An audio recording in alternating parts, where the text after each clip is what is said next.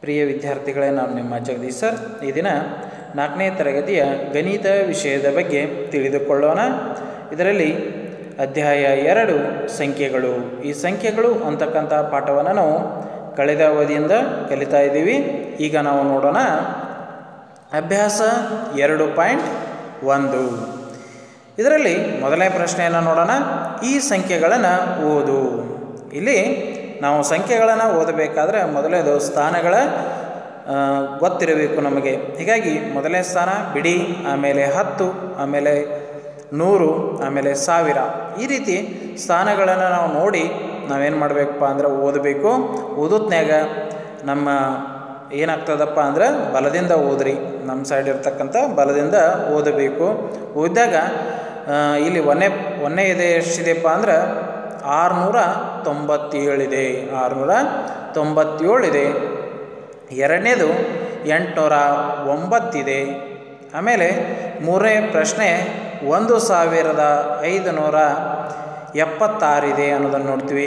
ಆಮೇಲೆ ನಾಲ್ಕನೇ ಪ್ರಶ್ನೆ ಐದು ಸಾವಿರದ ಎರಡು ನೂರ ತೊಂಬತ್ತೆಂಟು ಐದನೇ ಪ್ರಶ್ನೆ ಏಳು ಸಾವಿರದ ಐದಿದೆ.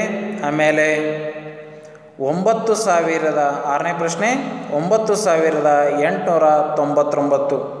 ಆಮೇಲೆ ಏಳನೇ ಪ್ರಶ್ನೆ, ಏಳು ಸಾವಿರದ ಎರಡು ನೂರ ಮೂರಿದೆ. ಆಮೇಲೆ ಎಂಟನೇ ಪ್ರಶ್ನೆ, ಎಂಟು ಸಾವಿರದ ನಾಲ್ಕು. ಈ ರೀತಿ ನೀವು ಸರಿಯಾಗಿ ಓದಿ ಅಕ್ಷರದಲ್ಲಿ ನೀವು ತಿಳ್ಕೋಬೇಕು. ಅಕ್ಷರಗಳನ್ನು ಬರೆಯೋದರಲ್ಲಿ ತಪ್ಪಬಾರ್ದು ಸರಿಯಾಗಿ ನೀವು ಸ್ಥಾನಗಳನ್ನು ಅರ್ಥ ಮಾಡಿಕೊಂಡು ಓದಬೇಕು. ಇನ್ನು ಎರಡನೇ ಪ್ರಶ್ನೆಯನ್ನು ನೋಡೋಣ. ಈ ಸಂಖ್ಯೆಗಳ ಸ್ಥಾನ ಬೆಲೆ ನಕ್ಷೆಯನ್ನು ಬರೀರಿ ಅಂತ ಇದ್ದರು ಈ ಸಂಖ್ಯೆಗಳ ಒಂದು ಏನಪ್ಪ ಅಂದ್ರೆ ಸ್ಥಾನ ಬೆಲೆ ನಕ್ಷೆ. ಇಲ್ಲಿ ಸ್ಥಾನ ಬೆಲೆ ನಕ್ಷೆಯನ್ನು ಬಿಡಿ ಹತ್ತು, ನೂರು, ಸಾವಿರ ಈ ರೀತಿ ಮಾಡಬೇಕು.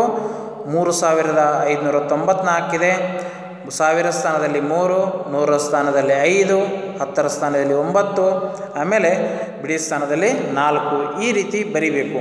ಆದರೆ ಬರೀತ್ನಾಗ ನಾವು ಬಿಡಿ ಸ್ಥಾನದಿಂದ ಪ್ರಾರಂಭ ಮಾಡಬೇಕು. ಅವಾಗ ನಮ್ಗೆ ಗೊತ್ತಾಗ್ತದೆ ಯಾವ ಸ್ಥಾನ ಇಲ್ಲ ಅನ್ನೋದು. ಇಲ್ಲಿ ಒಂದೇ ಪ್ರಶ್ನೆಯಲ್ಲಿ ನಮ್ಗೆ ಗೊತ್ತಾಗ್ತಾ ಇದೆ. ಮುನ್ನೂರ ಏಳಿದೆ ಮುನ್ನೂರ ಏಳದಲ್ಲಿ ನಾವು ಬಿಡಿ ಸ್ಥಾನದಲ್ಲಿ ಏಳು ಬರ್ತೀವಿ. ಹತ್ತರ ಸ್ಥಾನದಲ್ಲಿ ಸೊನ್ನೆ, ಆಮೇಲೆ ನೂರ ಸ್ಥಾನದಲ್ಲಿ ಮೂರು, ಆಮೇಲೆ ಸಾವಿರ ಸ್ಥಾನದಲ್ಲಿ ಯಾವುದೇ ಸ್ಥಾನ ಇಲ್ಲ.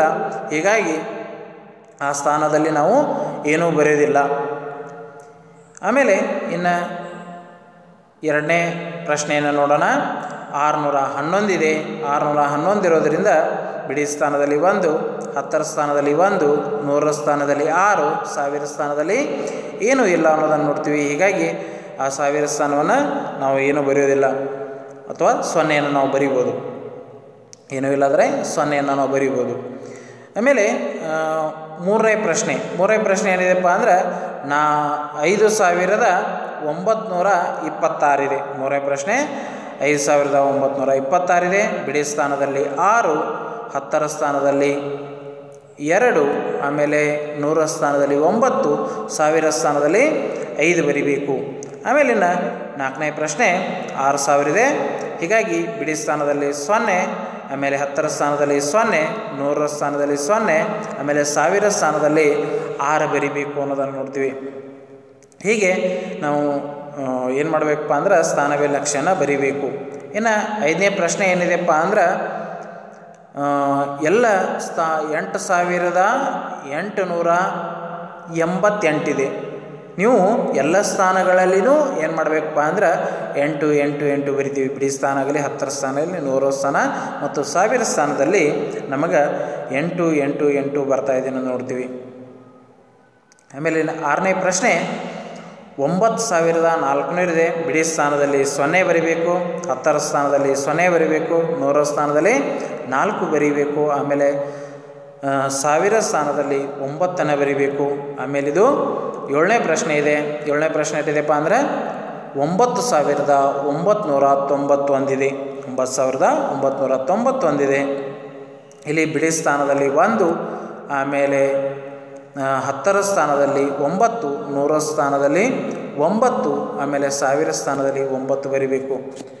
ಆಮೇಲೆ ಏನು ಮಾಡಬೇಕಪ್ಪ ಅಂದ್ರೆ ಎಂಟನೇ ಪ್ರಶ್ನೆ, ಏಳು ಸಾವಿರದ ಮುನ್ನೂರ ನಲವತ್ತ್ಮೂರಿದೆ ಇದನ್ನು ನಾವು ಬಿಡಿ ಸ್ಥಾನದಲ್ಲಿ ಮೂರು, ಹತ್ತರ ಸ್ಥಾನದಲ್ಲಿ ನಾಲ್ಕು, ನೂರ ಸ್ಥಾನದಲ್ಲಿ ಮೂರು, ಸಾವಿರ ಸ್ಥಾನದಲ್ಲಿ ಏಳು. ಈ ರೀತಿ ನೀವು ಏನು ಮಾಡಬೇಕಪ್ಪ ಅಂದ್ರೆ ಸ್ಥಾನ ಬೆಲೆದ ನಕ್ಷೆಗಳನ್ನು ಸರಿಯಾಗಿ ಗೆರೆಗಳನ್ನು ಹಾಕಿ ನೀವು ಬರಿಬೇಕು.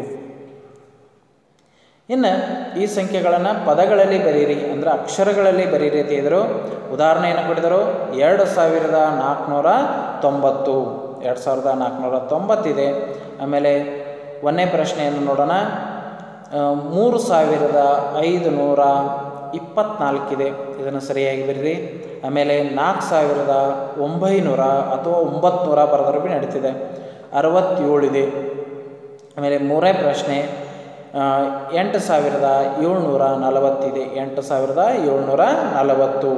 ಆಮೇಲೆ ಎಂಟು ಸಾವಿರದ ಒಂದು. ಎಂಟು ಸಾವಿರದ ಒಂದು ನಾಲ್ಕನೇ ಪ್ರಶ್ನೆ ಇದೆ ಅನ್ನೋದು ನೋಡ್ತೀವಿ. ಇಲ್ಲಿ ರೋಮನ್ ಅಂಕಿಯ ನಾಲ್ಕನೇ ಪ್ರಶ್ನೆಯನ್ನು ನೋಡೋಣ. ಈ ಚಿತ್ರದಲ್ಲಿ ವ್ಯಕ್ತವಾಗಿರುವ ಸಂಖ್ಯೆಗಳ ಸ್ಥಾನ ಬೆಲೆ ಪಟ್ಟಿಯಲ್ಲಿ ಬರೆದು ಓದ್ರಿ ಅಂತ ಹೇಳಿದರು. ಏನು ಮಾಡತ್ತಿದ್ರು ಬರೆದು ಓದ್ರಿ ಅಂತ ಹೇಳಿದರು ಅನ್ನೋದು ನೋಡ್ತೀವಿ. ಆಮೇಲೆ ಇಲ್ಲಿ ಏನು ಮಾಡಬೇಕಪ್ಪ ಅಂದ್ರೆ ಚಿತ್ರಗಳನ್ನು ನೋಡಬೇಕು. ಸಾವಿರದ ಎಷ್ಟಿದಾವು? ಆಮೇಲೆ ನೂರದ್ದು ಎಷ್ಟಿದಾವು? ಆಮೇಲೆ ಬಿಡಿ ಸ್ಥಾನದ ಎಷ್ಟಿದಾವು? ಇಲ್ಲಿ ಸಾವಿರದಲ್ಲಿ ಬಾಕ್ಸ್ಗಳು ಎಟ್ಟಿದಾವಪ್ಪ ಅಂದ್ರೆ, ಉದಾಹರಣೆಯನ್ನು ಕೊಟ್ಟಿದ್ದರು. ಆ ಉದಾಹರಣೆದೊಳಗೆ ಬಾಕ್ಸ್ಗಳು ಎಟ್ಟಿದವಪ್ಪ ಅಂದರೆ ಇಲ್ಲಿ ಮೂರಿದಾವು. ಎಷ್ಟಿದವು? ಮೂರಿದವು. ಹಾಗಾಗಿ ಸಾವಿರ ಸ್ಥಾನದಲ್ಲಿ ಮೂರನ್ನು ಬರೆದಿವಿ. ನೂರದು ಎಟ್ಟಿದವಪ್ಪ ಅಂದ್ರೆ ಐದು ಇದಾವು ಐದನ್ನು ಬರೀರಿ. ಆಮೇಲೆ ಹತ್ತರ ಸ್ಥಾನದ ಎಟ್ಟಿದವಪ್ಪ ಅಂದ್ರೆ ನಾಲ್ಕು ಇದಾವು ಬಿಡಿ ಸ್ಥಾನದ ಒಂದು ಒಂದು ಒಂದು ಒಂದು ಎಟ್ಟಿದವಪ್ಪ ಅಂದರೆ ಬಿಡಿ ಸ್ಥಾನದೊಳಗೆ ಎಂಟಿದಾವು. ಹೀಗಾಗಿ ಸಾವಿರ, ನೂರು, ಆಮೇಲೆ ಹತ್ತು, ಆಮೇಲೆ ಬಿಡಿ ಸ್ಥಾನ ಮೂರು ಸಾವಿರದ ಐದುನೂರ ನಲವತ್ತೆಂಟು ಉತ್ತರ ಬರ್ತಾ ಇದೆ ಉದಾಹರಣೆದೊಳಗೆ. ಆಮೇಲಿನ ಇಲ್ಲಿ ಚಿತ್ರದಲ್ಲಿ, ಎರಡನೇ ಚಿತ್ರದಲ್ಲಿ ನಾವು ನೋಡ್ತಾ ಇದ್ದೀವಿ. ಸಾವಿರದ ಒಂದಿದೆ, ಆಮೇಲೆ ನೂರದು ಮೂರು ಇದಾವೆ ಹೀಗಾಗಿ ಮೂರು ಬರ್ದೀವಿ ನೂರು ಸ್ಥಾನದೊಳಗೆ. ಸ್ಥಾನ ಬೆಲೆ ಕೋಷ್ಟಕದಲ್ಲಿ ನೋಡ್ರಿ ನೀವು.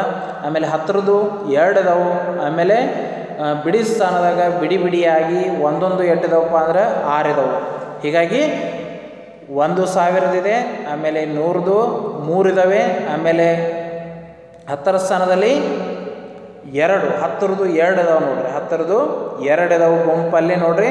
ಆಮೇಲೆ ಒಂದೊಂದರದು ಆರು ಇದಾವೆ ಹೀಗಾಗಿ ಸ್ಥಾನ ಬೆಲೆ ಕೋಷ್ಟಕದಲ್ಲಿ ಒಂದು ಸಾವಿರದ ಮುನ್ನೂರ ಇಪ್ಪತ್ತಾರು ಬರ್ತಾ ಇದೆ. ಇನ್ನು ಇದರಲ್ಲಿ ಮೂರನೇ ಪ್ರಶ್ನೆಯನ್ನು ನೋಡೋಣ. ಸಾವಿರದ ಎಟ್ಟಿದವಪ್ಪ ಅಂದರೆ ಇಲ್ಲಿ ಒಂದಿದೆ.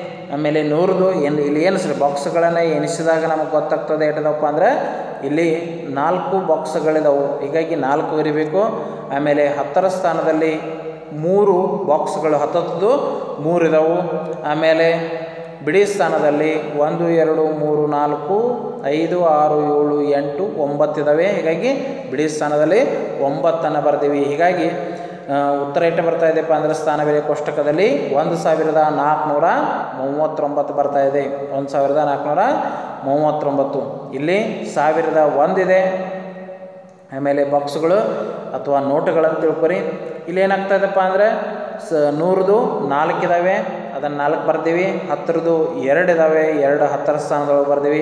ಬಿಡಿ ಸ್ಥಾನದೊಳಗೆ ನಮಗೆ ಎಂಟು ಇದಾವೆ ಅನ್ನೋದು ನೋಡ್ತೀವಿ. ಒಂದೊಂದ್ರದ್ದು ಎಷ್ಟು ನೋಟುಗಳಿದಾವಪ್ಪ ಅಂದ್ರೆ ಎಂಟು ಇದಾವೆ ಅನ್ನೋದು ನೋಡ್ತೀವಿ.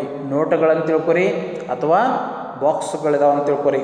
ಯಾವುದು ನೋಡಿದ್ರು ನಾಲ್ಕನೇ ಉತ್ತರ ಎಷ್ಟು ಬರ್ತಾ ಇದೆಯಪ್ಪ ಅಂದರೆ ಒಂದು ಸಾವಿರದ ನಾಲ್ಕುನೂರ ಇಪ್ಪತ್ತೆಂಟು ಬರ್ತಾ ಇದೆ. ಒಂದು ಸಾವಿರದ ನಾಲ್ಕುನೂರ ಇಪ್ಪತ್ತೆಂಟು ಬರ್ತಾ ಇದೆ ಅನ್ನೋದು ನೋಡ್ತೀವಿ.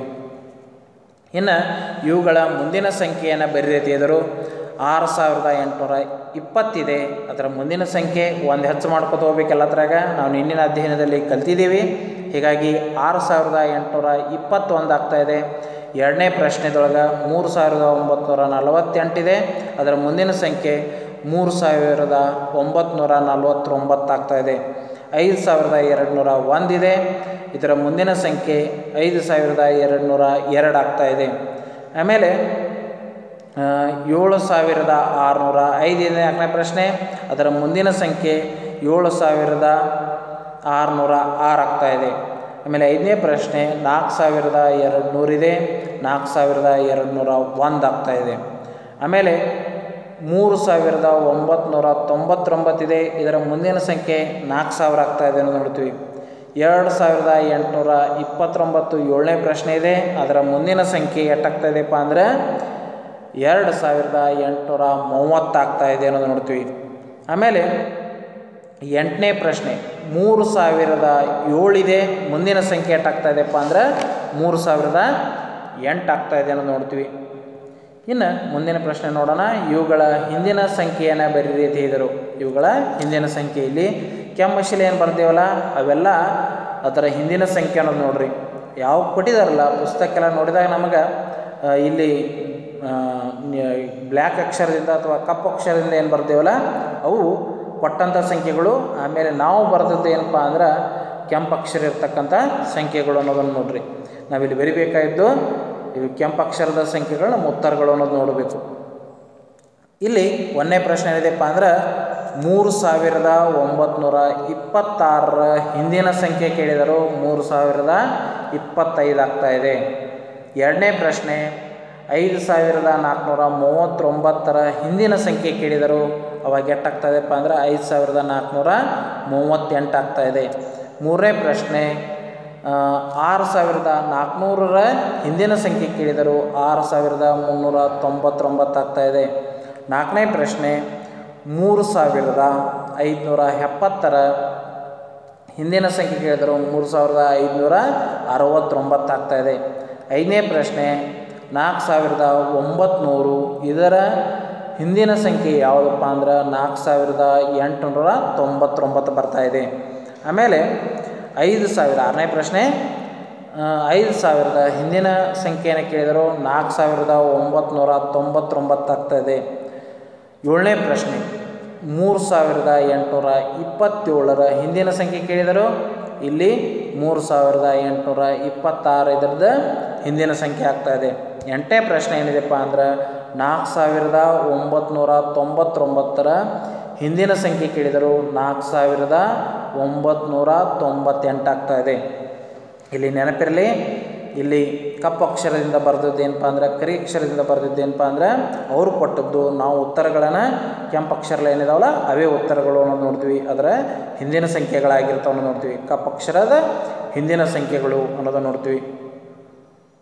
ಇನ್ನು ಇವುಗಳ ಮಧ್ಯದ ಸಂಖ್ಯೆಯನ್ನು ಬರೀತಿದ್ರು ಇವುಗಳ ಮಧ್ಯದ ಸಂಖ್ಯೆಯನ್ನು ಬರೀದ ಬರೀತಿದ್ರು ಯಾವುದರಪ್ಪ ಅಂದ್ರೆ ಒಂದನೇ ಪ್ರಶ್ನೆ ನೋಡೋಣ. ಎರಡು ಸಾವಿರದ ಏಳ್ನೂರ ಅರವತ್ತೊಂಬತ್ತು, ಎರಡು ಸಾವಿರದ ಏಳ್ನೂರ ಎಪ್ಪತ್ತೊಂದರ ಮಧ್ಯದ ಸಂಖ್ಯೆ ಯಾವುದು ಅಂತ ಕೇಳಿದರು.